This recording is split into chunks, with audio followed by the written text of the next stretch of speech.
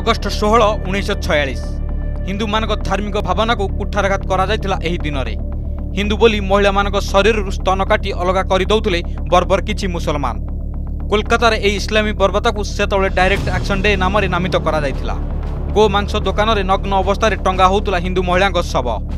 Victoria college ଛାତ୍ରୀଙ୍କୁ ଦୁଷ୍କର୍ମ କରି ତାଙ୍କ ଶବକୁ ଝରକାରେ ଟାଙ୍ଗି ଦେଉଥିଲେ ଦୁର୍ବୃତ୍ତ ଆଜି ମନେ ପଡ଼ିଛି ସେହି ବର୍ବର ଅଗଷ୍ଟ ଷୋହଳ ତାରିଖର କଥା ডাইরেক্ট আকশন ডে অবসরের কিভাবে বিভৎস ও বর্বর কাণ্ড হোলা সে সম্পর্কের জনে বয়স্ক ব্যক্তি রবীন্দ্রনাথ দত্তঙ্ অঙ্গে নেওয়া কথাকু নেই এক ভিডিও বর্তমান সোশিয়াল মিডিয়ায় ভাইরাল হচ্ছে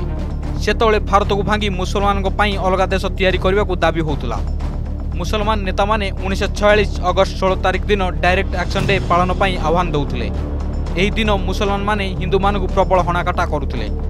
এর সবুঠার অধিক প্রভাব বঙ্গলার দেখা মিলিলা ନୂଆଖାଲିରେ ହୋଇଥିବା ହିଂସା ଏଥିପାଇଁ କୁଖ୍ୟାତ ଅଟେ ଏହି ଦଙ୍ଗା ତିନି ମାସ ଧରି ଚାଲିଥିଲା ଏଥିପାଇଁ ମହାତ୍ମା ଗାନ୍ଧୀଙ୍କୁ ଦୀର୍ଘ ଦିନ ଧରି ନୂଆଖାଲିରେ ରହିବାକୁ ମଧ୍ୟ ପଡ଼ିଥିଲା ରବୀନ୍ଦ୍ରନାଥ ଦତ୍ତଙ୍କ ବର୍ତ୍ତମାନ ବୟସ ହେଉଛି ବୟାନବେ ଡାଇରେକ୍ଟ ଆକ୍ସନ୍ ଡେ ବେଳେ ତାଙ୍କ ବୟସ ମାତ୍ର ଚବିଶ ବର୍ଷ ହୋଇଥିଲା ସେ ଡାଇରେକ୍ଟ ଆକ୍ସନ୍ ଡେରୁ କୌଣସି ପ୍ରକାର ବର୍ତ୍ତି ଯାଇଥିଲେ ସାମ୍ବାଦିକ ଅଭିଜିତ ମଜୁମଦାର ଏହି ବୟସ୍କ ବ୍ୟକ୍ତିଙ୍କ ଭିଡ଼ିଓକୁ ନିଜ ଟ୍ୱିଟର ହ୍ୟାଣ୍ଡେଲରେ ସେୟାର କରିଛନ୍ତି ସେ ଏହି ଭିଡ଼ିଓରେ କହିଛନ୍ତି ଯେ ରାଜା ବଜାର ଅଞ୍ଚଳରେ ପିପ୍ ଦୋକାନମାନଙ୍କରେ ହିନ୍ଦୁ ମହିଳାମାନଙ୍କ ନଗ୍ନ ଶବଗୁଡ଼ିକୁ ଓଲଟା ଲଟକା ଯାଇ ରଖାଯାଉଥିଲା ଭିକ୍ଟୋରିଆ କଲେଜରେ ପଢ଼ୁଥିବା ହିନ୍ଦୁ ଛାତ୍ରୀମାନଙ୍କ ସହ ଦୁଷ୍କର୍ମ କରାଯାଉଥିଲା ଏହା କ୍ରୂରତାର ଚରମ ସୀମା ଥିଲା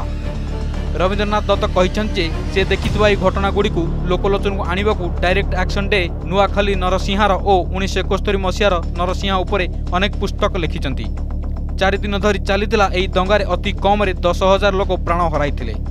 ହିନ୍ଦୁମାନଙ୍କୁ ରକ୍ଷା କରିବାକୁ କୋଲକାତାର ଗୋପାଳ ଚନ୍ଦ୍ର ମୁଖାର୍ଜୀ ଭୂମିକା ଅତ୍ୟନ୍ତ ଗୁରୁତ୍ୱପୂର୍ଣ୍ଣ ଥିଲା ବ୍ୟୁରୋ ରିପୋର୍ଟ ଅର୍ଗସ୍ ନ୍ୟୁଜ୍